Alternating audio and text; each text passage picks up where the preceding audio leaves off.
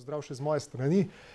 Današnjo predstavitev bi zastavil nekako takole. Na začetku bi rekel par besed okoli ne, teh, bi rekel, čisto vodnih podatkov okrog trajnostnega razvoja, zakaj sploh ocenjevati negativne vplive na okolje, kako se to dela.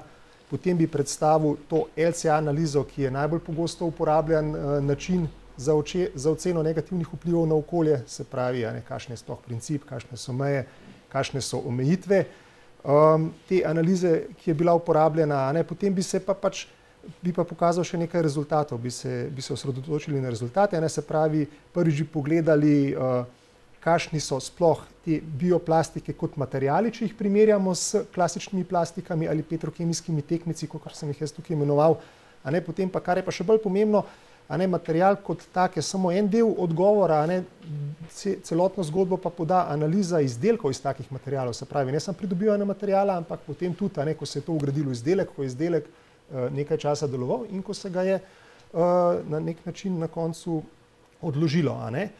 Uh, en primer, skozi en primer bi šli čisto na hitro nekaj rezultatov, ostali so pa samo nakazani in pa seveda na koncu zaključki um, vseh teh podatkov. Se pravi, trajnostni razvoj, o tem je že dr. Kržan večkrat je to, ta izraz uporabil, kaj to sploh pomeni.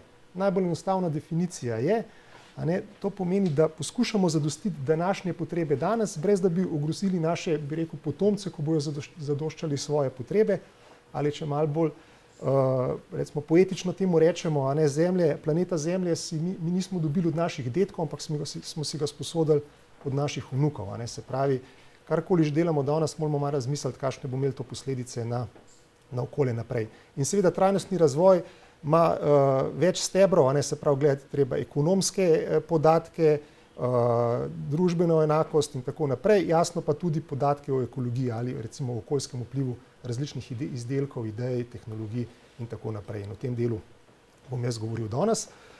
Um, Še tako le malo za začetek, ne, se pravi, kateri so sploh negativni vplivi na okolje, da razčistimo še to, ne, preden gremo pa potem te rezultate gledati. Ne.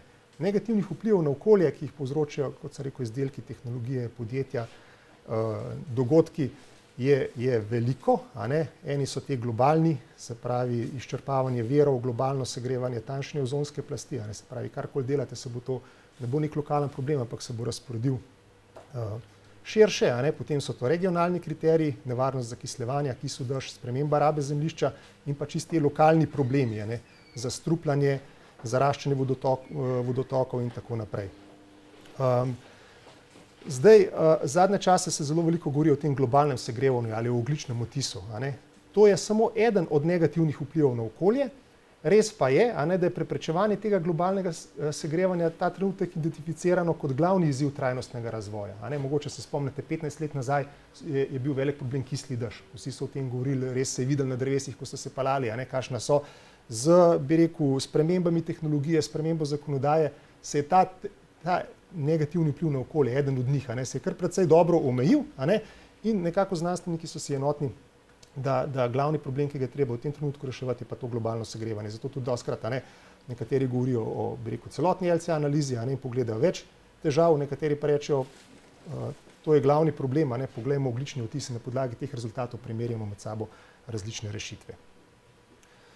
Um, kaj je to sploh globalno segrevanje? Najbolj enostavno povedano, pa pred, verjamem, da večina od vas to že ve, je takole, a ne sonce na naš planet seva toploto, del se jo absorbira, del pa se jo v obliki sevanja odbije nazaj v vesolje in vsi toplo, te toplogredni plini tvorijo okrog Zemlje nekakšen, recimo temu, plašč, ki precejšnjemu delu tega um, sevanja prepreči, da bi, se, da bi se sevalo nazaj v vesolje, ampak se odbija nazaj v Zemljo, se pravi, ne gre dovolj toplote stran od Zemlje in, in to povzroča segrevanje Zemlje.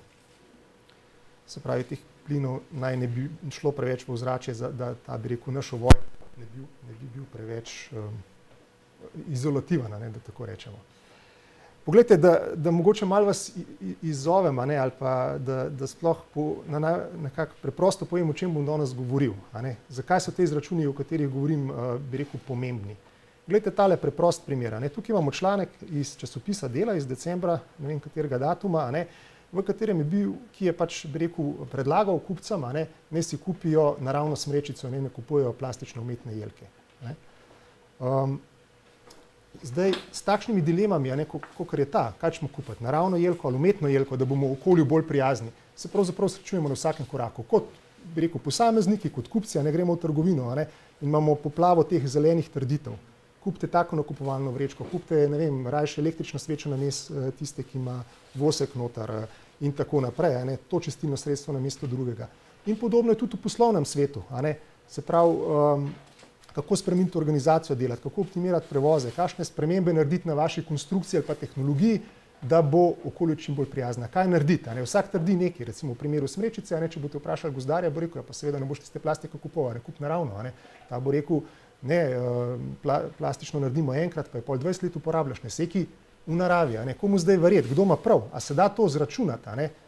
Um, da se z uporabo teh uh, eh, LCA analiz ne, in tukaj so rezultati. Recimo za primer jelke, ne, če upravite tako natančno analizo, ugotovite, ne, pridete do nekega preprostega odgovora. In sicer v tem primeru, ne, če ste kupili neko povprečno umetno jelko in jo uporabljali več kot 8 let, ste povzročili manjšo okoljsko obremenitev, kot če bi vsak let kupili uh, naravno novo jelko.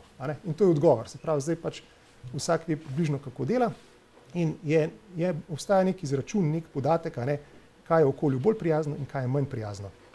Kar je pa še bolj pomembno, ne, če se lotite ene take analize, je pa ne samo, da dobite odgovor, ampak tudi predloge za zmanjševanje negativnih vplivov na okolje. Se pravi, ugotovite, kateri so tisti ključni problemi, tako imenovani hotspots na vašem izdelku ali pa temu predmetu odločanja in, um, in se pač lotite optimizacije leteh. Naprimer, v, primerja, v primeru tele jelke ne, je bilo izračunano, ne, da pač je pravzaprav ta prevoz do trgovine pa nazaj kar, kar precej um, okolju neprijazen, ne, procentualno gledano na cel okoljski vpliv, ne, in zato so pač tukaj neka priporočila bila, ne, izberite najbližje mesto nakupa, kupite lokalno vzgojeno jelko, da se ni predeleč vozila od tam, ko so jo posekali, ne, ali pa recimo tudi to, um, tele okraske, ne, ki potem nekaj dni gorijo na jelki, pravzaprav povzročajo bistveno večji negativni vpliv na okolje kot jelka sama, se pravi, ne, poglablji se pa ne hodi v tri trgovine kupovati jelko, ne, da boš leta pravo kupil, potem pa nabi tiste okraske, ki ti 14 dni gor gorijo lučke, ne. Se pravi, da, da razumeš in se osredotočiš na pravo stvar.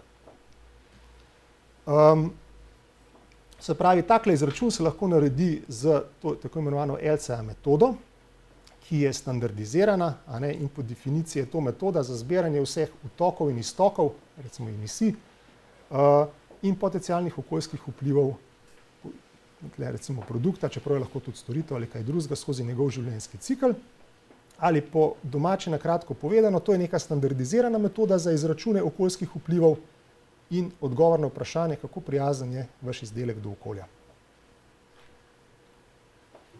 Kako se ta zga izračuna lotiti? Zelo podoben je odgovor, kot če bi šli zdaj do nekega računovodja, pa bi ga vprašali, kako vam naredi na koncu leta bilanco stanja pa izkaz uspeha. Rekl bi z upoštevanjem standardov in z uporabo primernih račun, računalniških orodij, ne softverskih orodij. Zelo podobna zgodba je tudi tukaj. Metoda je standardizirana po ISO 14040 in ima tele štiri faze, definicija in namen ciljev, inventurna analiza, to se pravi zbiranje vseh utokov in iztokov, kaj smo uporabili, kakšne so bile emisije, kaj se je vrglo stran, izračun in pa potem pravilna interpretacija rezultatov. Te rezultate se lahko uporablja na različne načine, od razvoja pa do trženja, ali pa malo bolj natančno so našteti tukaj.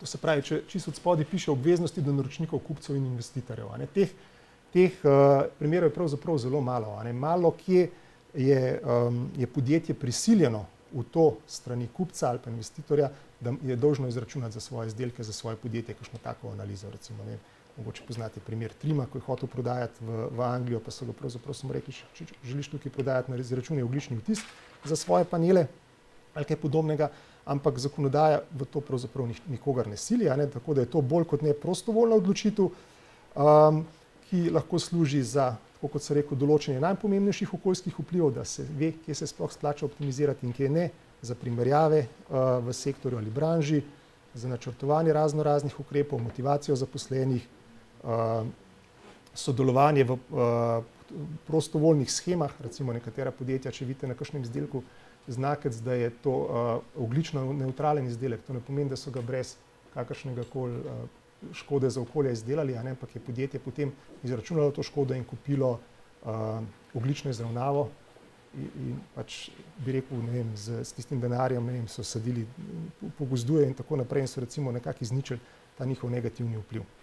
Um, se pravi, uh, razlogov, zakaj se tega lotiti, je, je lahko več, ne? vsak presodi, a bo v to šel ali ne.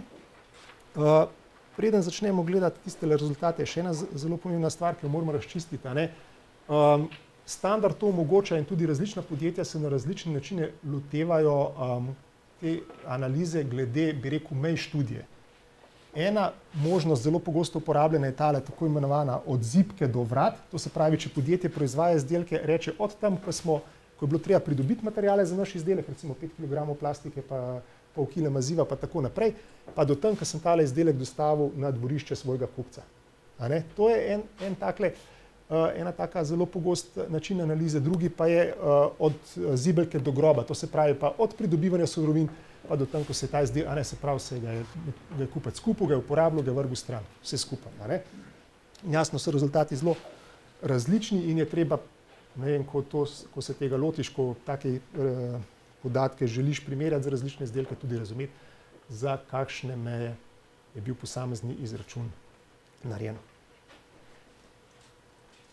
Pa mogoče za konec, kar se tiče te teorije, še tole, a ne, tudi ta metoda ne poda popolne slike in ne upošteva vseh parametrov.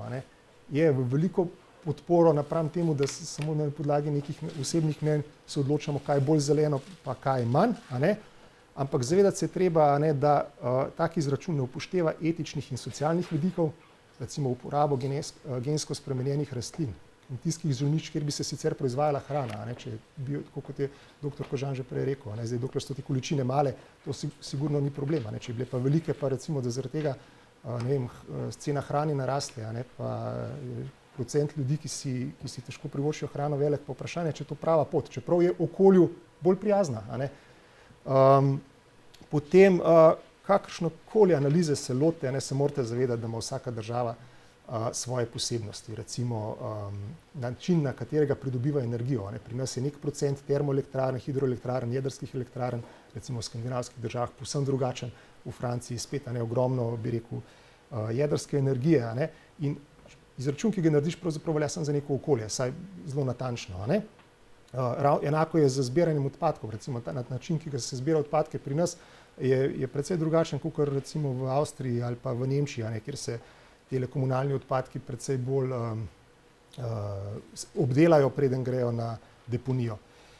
Um, jasno, v praksi nikoli ne moreš upoštevati vseh okoljskih kazalnikov. Ne? Mogoče so nekatere, na nekaterih področjih je neka no, drugačna rešitev boljša, na enem od njih pa tudi slabša. To bomo videli tudi na primeru bioplastike. Uh, potem je pa še en kup drugih stvari, recimo vem, higiena, a so, ne vem, a je kozarček iz biopolimera en, enako neoporečen kot um, iz klasične plastike, jaz ne vem, ali nastanejo kakšna druga tehnološka tveganja pri proizvodnji. Jaz mislim, kot jaz poznam tale postopek brizganja vsaj teh lončkov, pa tako mislim, da ni, ampak zmeri se treba vprašati. Ne? Poleg teh, bi rekel, okoljskega bremena je še en kup drugih stvari, ki jih je treba upoštevati, preden se lota razvoja nekega novega izdelka.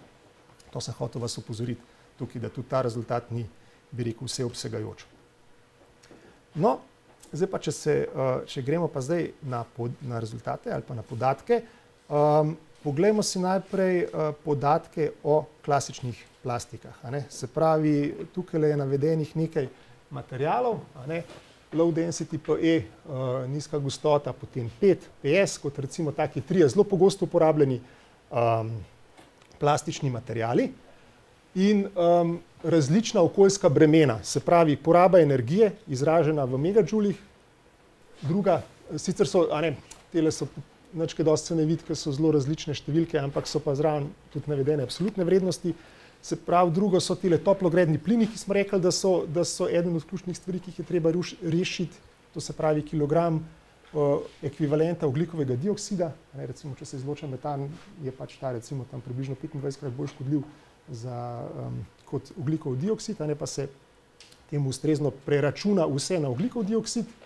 Um, tanjšanje ozonske plasti, nevarnost zastrupljanja, nevarnost zakisanja, pa eurofikacija oziroma zaraščanje vodotokov. To se pravi, to so tele podatki za različne materijale. Ugotovimo, da te plastike so recimo za, njihovo, za predela, pridelavo granulata je potrebnih okoli 80 MJ energije za kilogram, pri tem nastane recimo tam, smo, približno 2 kg uh, izpustov toplogrednih plinov in pač še nekaj drugih izpustov razno raznih snovi, ki, ki povzročajo različna okoljska bremena. Um, te materijale se lahko seveda na koncu življenjske dobe sežge ali pa odloži na deponijo, a ne, če se jih sežge, recimo se so te podatki spet zelo podobni, a ne, spet porabite, a ne, za, za bi rekel, um, obratovanje te sežigalence neke energije, pri tem nastop seveda kar precej toplogrednih plinov, vendar ko, kaj pa so drugega toplogrednih plini kot to, da material gori, um, in pač kup drugih okoljskih, uh, okolju negativnih um, uh, snovi. Zdaj pa, če pa vi plastiko odložite, pa seveda toplih pre, toplogrednih plinov veliko manj. Ne? Se je dr. Kažan je prej rekel, plastika, ko jo na dnu morja preživi 400 let, na deponiji 600, preden razpade, se pravi, načkaj, načkaj ne razpada, so pa jasno te druge številke više. Um, pa še nekaj se treba zavedati, ne? če vi material sežigate, tako kot tukaj napisano, pišeno, pridobite še nekaj električne energije, pa pare. To se pravi, ne, še, še en, en podatek v prid sežigalnici napram odlaganju plastike. Se pravi, to so um, podatki za recimo konkurenco uh, bioplastika, da, da, da sploh nimo s čem se primerjati. No, na drugi strani je bioplastika. Tole je pravzaprav na eni foliji napisano to, kar je dr. Kržan že prej povedal, ne, da imamo več teh kombinacij, ne, izdelane iz obnovljivih verov ali pa ne iz obnovljivih verov, biorazgradljive pa niso. Ne? Razen tale je pač, to je klasična plastika, to nima veze z bio. Ne? Če ni niti izdelan iz bio, pa niti ni, uh, ni razgradljiv. Um, v glavnem večina ali pa najbolj zanimivi so tele materijali. Biorazgradljivi izdelani iz obnovljivih verov in jih je dr. Kržan, mislim, da bolj kot ne telo omenil že v svojem predavanju. Aha, pa še nekaj treba povedati, ker se bom kasneje vrnil na to. Obstajajo pa seveda tudi kompozitni materijali, ne, je, ki so mešanice več materijalov, ker je ena od, bi rekel, sestavin kompozita, tudi, so lahko tudi naravna vlakna, van, konoplja, trsa, kaj podobnega. Tudi ti materijali imajo veliko, velik potencial. Um, no in um, zdaj manjšo okoljsko breme teh materijalov, glede na petrokemijske tekmice, ne, je pravzaprav glavna motivacija za uporabo plastike. Spravi, material je bolj okolju prijazen, zato ga uporabljamo. Potrebno je pa preveriti, če to drži in kdaj to drži. In ta najbolj osnoven podatek, s katerim lahko začnemo eno tako analizo, je, da pravzaprav uh, izračunamo vpliv pri proizvodnji materijala pa pri ravnanju z odpadki. Se pravi, to ni niti cradle to, to gate, niti cradle to grave, ne? se pravi, material je proizveden, potem neki z njim se uporablja izdelko, pa pravzaprav ne vemo, kaj se tam dogaja, se pravi, in del zgodbe izgubimo, potem se ga pa stran vrže, se pravi, začetek pa konec. In če je rezultat nekega novega materijala slab v primerjavi s klasičnimi, je že velika verjetnost, da ne bo tole, da tole ni uporabno, če pa je dober, ne, je pa smiselno pogledati naprej, kaj se z njim dogaja. In tukaj le so rezultati. Poglejte, tole je um, klasičen PE material, in pa zraven še tale pet za plastenke. Uh, tak izračun je zelo enostavno narediti. Naredil sem jaz čisto enostaven izračun, sem rekel, to je ena kila materijala, ki se ga potem 20% vrže na, na odlagališče in 80% sežge. In so, in so pač neki rezultati, ki sem jih normiral na 100%, potem sem pa izračun ponovil še za pet materijal, ne, ki, je, um, ki je tudi, rekel, klasična plastika, in pa potem še nekaj rezultatov za, za bi rekel, biorazgradljive polimere ali pa za bioplastike, no, da, da isti izraz uporabljam kot do zdaj, ne, in primerjamo, tako kot so te stolpci, različne okoljske vplive. Ne, in hitro ugotovimo, uh, žal, tele, poda, predvsej podatkov tle manjka, zelo so se razlikovali med različnimi študijami, ne, tako da pravzaprav nisem se tle noter, te, te podatke, ki so bili popolnoma raztreseni, jih nisem hotel dati na prezentacijo. Imam pa željo, da bi enkrat razčistil to do konca, pa preštudiral te študije, pa ugotovil, kateri so najbolj pravi. Se pravi, da bi tudi te stolpce poznali. Ampak že te podatki nam pravzaprav uh, dajo neko sliko okoli bioplastik, se pravi, uh, porablja se pri njihovi predelavi jasno manj energije.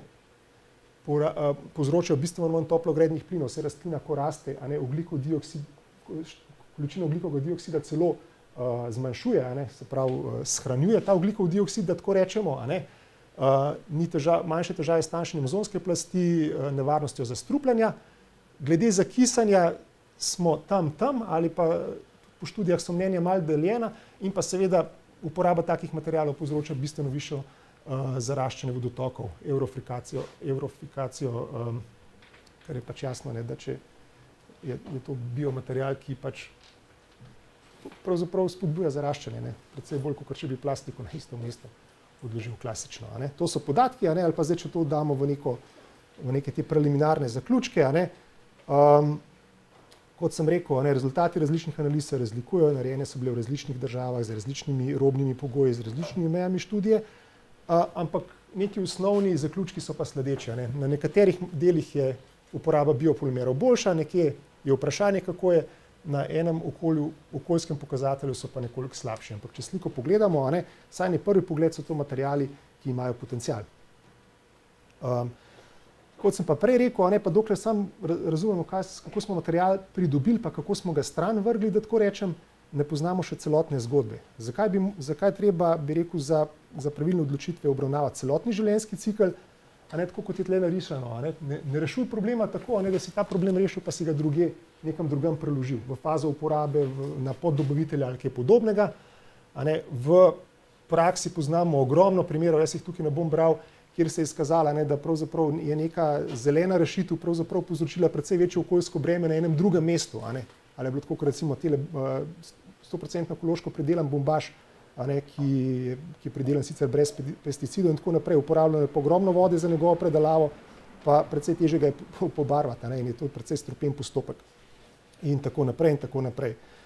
Um, se pravi, obstaja en kup stvari, ki so ne, med to predelavo pa odlaganjem materijalov, ki so lahko različne za različne materijale. Različni proizvodni postopki, različne transportne poti. Proizvajalcev bioplastike je predvsem manj kot klasične, se pravi, se te materijale vozi dlje do, do uporabnikov. Faza uporabe izdelkov, ali je ta izdelek zdaj, uh, bi rekel, um, zaradi uporabe bioplastike boljši, enako dober, ne, ima enako funkcionalnost ali pa je celo slabši. Uh, rekel, potrošniške navade so zelo pomembne. Poglejte, recimo v primeru vrečka, ne, to je zelo tak klasičen primer. Um, ko so začeli delati, uh, so rekli, da okay, je navadna plastična vrečka v okolju škodljiva, da jim uh, začeti delati papirnate, pa, pa biorazgradljive, pa tako naprej. Kaj so ugotovili? Kupec je vzel dve papirnati, pa na basu noter, ker je imel občutek, da se bo strgala. In, ne, in ta do, double bagging. Se pravi, če da dve noter, ne, če kupec dve uporablja na mesene navade, je treba to upoštevati, ko, ko računaš okoljski, okoljski vtis uh, vašega odpadka. Faza ravnanja z odpadki.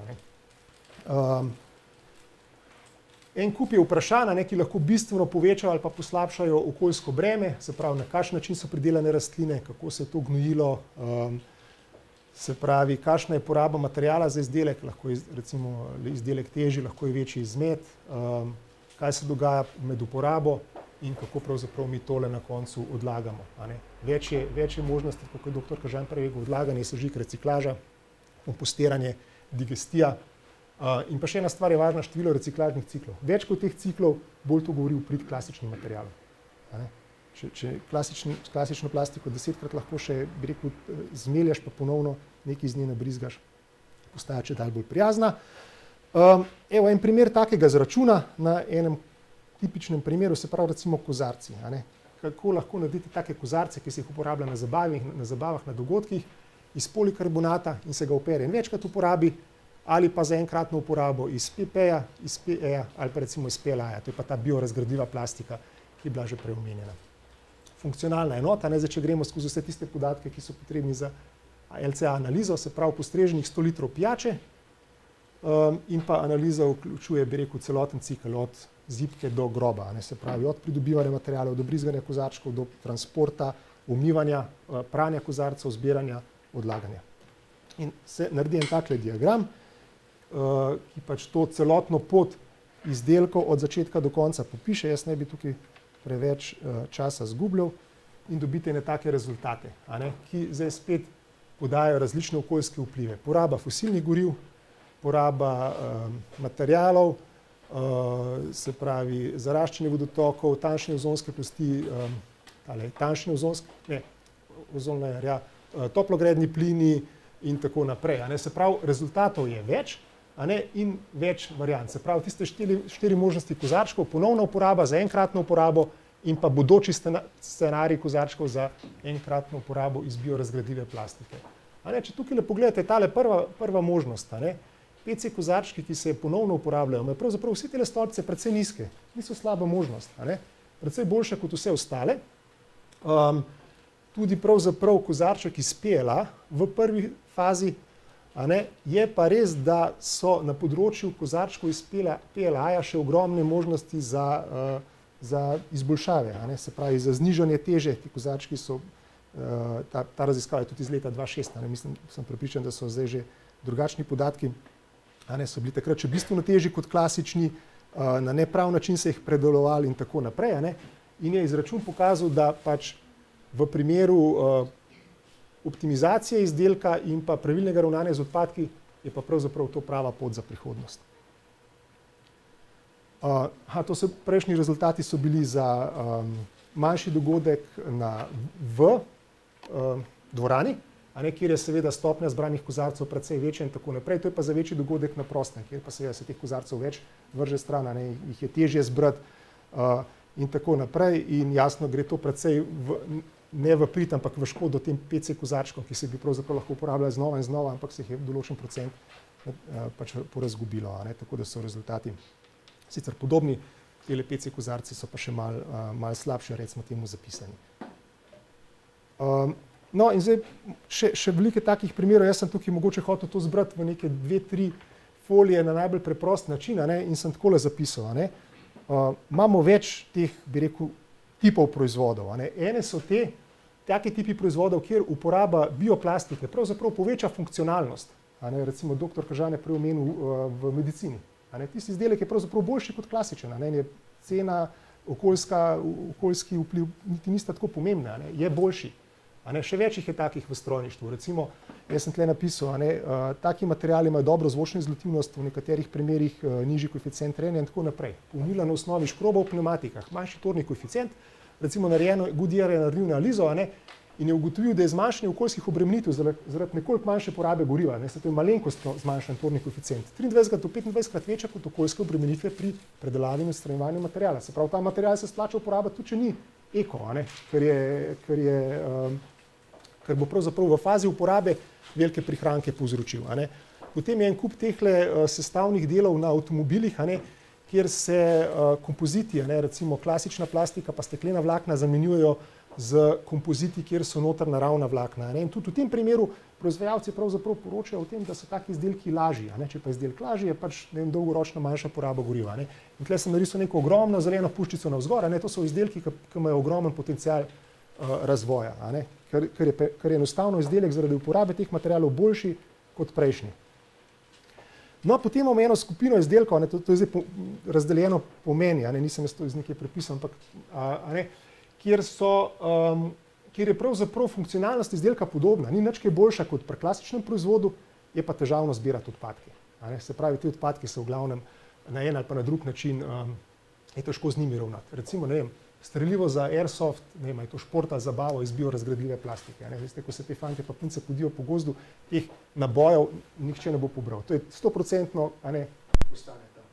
Definitivno je to en tak primer, ne? in te, te naboje tudi so iz iz biorazgradljive plastike. Potem recimo uporaba biorazgradljivih vrečk za bioodpadke. Ne, tukaj ima spet ta material ogromno prednost pred klasičnimi vrečkami. In sicer zakaj? Vi lahko odpadke zbirate tudi na druge načine. V klasični plastični vrečki, ampak jo polke vržete to v, v bio, tisti rjav kontejner, kaj morate narediti? Strest ven, a ne? Ne smete v, v vrečki not vršiti. In kaj to pomeni? Vi, ko stresete ven, ostane recimo, ne vem, mogoče, ne vem, 300 gramov bio odpadkov na vrečki gor nalepa, ne morete čistiti čist do konca in to vržete pol v sežigalnico, kar ni dobro. Tretja varianta pa je, da imate kontejner, ki ga perete, kar je pa spet, a ne sicer to stresate potem, ampak uporabite en kup čistil, uh, ki ta kontejner vsake toliko perete, svoj, ne, da, da vam ne smrdi v kuhinji. To se pravi, ne, spet je ena taka, bi rekel, značilnost, kar se tiče um, zbiranja odpadkov, ne, kjer kaže, da je definitivno tukaj najboljše uporabiti uh, vrečko iz biorazgradljive plastike, ki jo potem z odpadke vreč date v kontejner za, za bioodpadke, v tisti rjav kontejner, ki domače povedal. No, potem je pa en kup, eh, bi rekel, um, aplikacij, kjer pa je um, uporabnost ali pa funkcionalnost izdelka iz bioplastike ne, podobna ali pa celo nižja, kot um, kot klasične plastike in je pa, bi rekel, to zbiranje odpadkov bolj urejeno. Recimo nakupovalne vrečke sem lep tak primer. Nakupovalne vrečke iz biorazgradljivih materijalov so siguren boljše kot nakupovalne vrečke iz klasične plastike, ampak pa ste to, le če se uporabi kompostiranje. Če vržete tako vrečko na navadno odlagališče, boste s tem povzročili večjo škodo, zato kaj se tam zgodi. Tam pride do tega, kako ste prej rekel, anaerobnega razpada in se ustvarja metan. Se pravi zelo navaren toplogredni plin. In slabš naredite, da vržete tako vrečko na, na odpad, kot da ste navadno plastično vrečko vrgli, ki bo 600 let, ne bo razpadla, pa nobenih snovi ne bo, ne bo šlo, mislim, bo kasneje razpadala. Recimo zelo podobna zgodba, prej sem videl, je bil tam en kemični svinčnik iz bioplastike. Mislim, da sem pa tam neko samošinu seznam sodelujočih, da je nekdo iz Vivotena tudi tukaj. Jaz mislim, da če vi naredite svinčnika ne, iz biorazgradljive plastike, ki ga vržete na, na odlagališče, vprašanje, če je to bolj okolju prijazno, kot pa če ste navaden plastični svinčnik vrgli na odlagališče. Se pravi, zadeva mora biti rešena v, v celotni, uh, v celotni verigi, kar je tudi dr. Kažan že na začetku rekel. To je prva stvar, ki sem jo hotel povedati. Druga stvar pa je, ok, zdaj smo primerjali navadne pa biorazgradljive vrečke za enkratno uporabo. Še boljša vred, a ne še boljši tekmec so pa trpežne vrečke za nakupovanje, ki so pa po vseh analizah se izkazale kot definitivno boljši nakup.